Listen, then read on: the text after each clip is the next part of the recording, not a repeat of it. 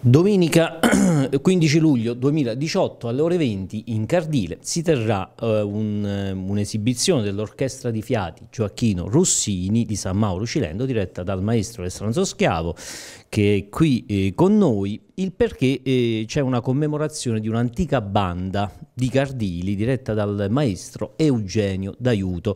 Tra l'altro c'è scritto 1922-27 e, e, intanto, maestro, perché questa commemorazione di questo oh, artista che tra l'altro oh, sembra sia nato a Cardile per poi emigrare?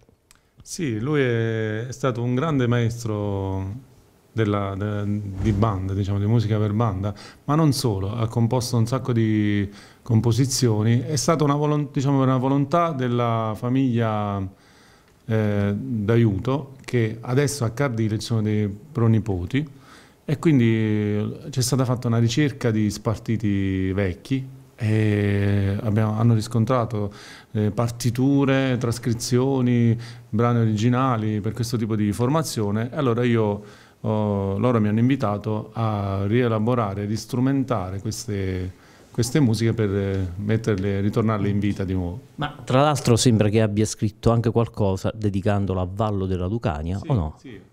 Lui è stato anche direttore della banda di Vallo nel 1921 e quindi l'ha omaggiato, omaggiato la città con una marcia sinfonica. Omaggio a Vallo, appunto. Ovviamente eh, ne, ha ne, ha composte tanti di brani e all'epoca ha avuto anche un discreto successo, insomma, questo maestro di aiuto. Però c'è una curiosità, perché 150 lire per un sogno? Questo era uno slogan, credo, del maestro d'aiuto. Sì, è interessante, molto carina questa, eh, questa notizia, che loro pagavano 150 lire per eh, far parte della, della, banda perché poi dopo dovevano acquistare lo strumento e quindi eh, era il loro sogno perché la banda di prima era composta da elementi giustamente gente, pastori, gente che lavorava nella campagna, allora il sogno veramente era un desiderio, come ancora oggi naturalmente per i ragazzi di oggi e chi studia musica oggi, la musica la fanno con passione, quindi veramente all'epoca era, era, tanta passione e tanto sacrificio, addirittura appunto loro dopo le giornate lavorative con tanta fatica, con tanta fatica si riunivano con entusiasmo per, per, fare le prove o poi addirittura per i concerti serali nei vari paesi del Cilento, perché all'epoca era anche una banda molto richiesta che suonava in tutto il Cilento, su tutto il territorio cilentano.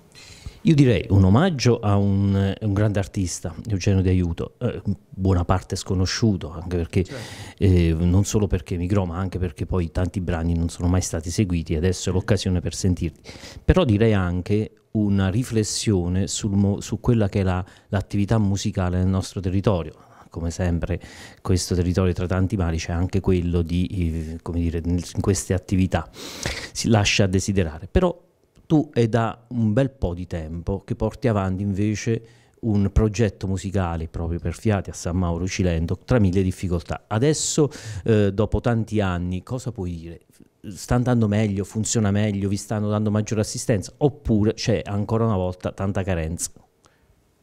Diciamo che adesso le situazioni rispetto all'epoca la situazione è diversa, molto diversa. Veramente prima le difficoltà erano proprio logistiche mi raccontavano, io spesso parlo pure con anziani diciamo, che sono nelle bande, mi raccontavano che loro appunto per andare a un paese dovevano andarci a piedi e quindi loro già facevano fatica proprio fisica per andare in un paese e andare lì poi e fare il giro come è consueto fare il giro del paese, la processione, quindi fare una giornata veramente faticosa eh, di lavoro e quindi eh, è affascinante questo fatto e poi soprattutto con quale entusiasmo loro lo raccontavano. Certo. Eh, quindi dice guarda era bellissimo andare in un paese, conoscere un paese nuovo, noi non vedevamo l'ora di andare in un paese nuovo, mangiare a casa di, delle persone poi, poi che bisogna invitavano. ricordare che venivano ospitati nelle case, sì. ovviamente non c'erano né ristoranti né altri posti dove ospitarli e venivano oh, suddivisi tra, i, tra, le varie famiglie dei paesi, ma questo credo fino a meno tanto tempo fa, sì. ancora fino a 20-30 anni fa ancora era così, vero? E quindi... Adesso diciamo i ragazzi, adesso è un po' diversa la situazione, comunque diciamo i ragazzi studiano, eh, hanno le idee pure loro molto chiare, c'è un'organizzazione diversa, è, è un po' certo. diverso. Ma eh, eh, ecco, io direi anche di dare un, dire, un, contenuto a questo programma. Quanti saranno i brani che saranno eseguiti alle ore 20 di, del, di domenica 15 luglio a Cardile? Tra l'altro è la chiesa di eh, San Nicola, credo. Sì, quella, sì, proprio una piazzettina lì ehm, più o meno una decina di brani perché erano tantissimi da rielaborare. Mi è stato dato. Infatti, non so, dopo vi faremo vedere un po'. Un bel lavoro da fare, sì, sì, eh, una decina. Poi ci sono interventi pure de, del parroco, ci sono interventi di, hanno invitato, come ho capito, tutte le autorità diciamo, del, sul, del territorio, i vari sindaci. E, e quindi le personalità del territorio. Quindi sarà una, veramente una manifestazione importante.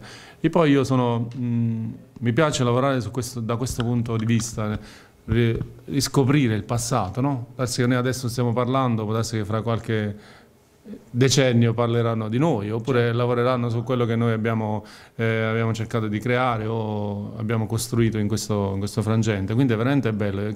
Poi quando si parla di persone quotate con eh, titoli... Eh, certificati appunto e quindi con, con, persone che hanno qualità e capacità e hanno avuto la passione e hanno, hanno avuto la passione di sempre di rappresentare con la loro arte eh, il territorio perché questo è il maestro d'aiuto. Comunque poi si è trasferito è andato a Canale Monterano un paesino nel Lazio e lui comunque dicono diciamo dalle scritture si dice che comunque è sempre tenuto l'affetto verso il Cilento quindi per la sua terra per la sua patria come come per tutti. Come ogni penso. buon cilentano. Come ogni buon cilentano. Perfetto. Allora, noi saremo sicuramente a Cardile, ripeto, domenica eh, prossima, 15 luglio, alle ore 20, presso la chiesa di San Nicola, per riascoltare questi brani di un illustre nostro concittadino che qualcosa come un secolo fa davvero ha dato lustro attraverso la musica al nostro territorio. Grazie al maestro Schiavo. Saremo, ci vedremo sicuramente domenica. Grazie a voi.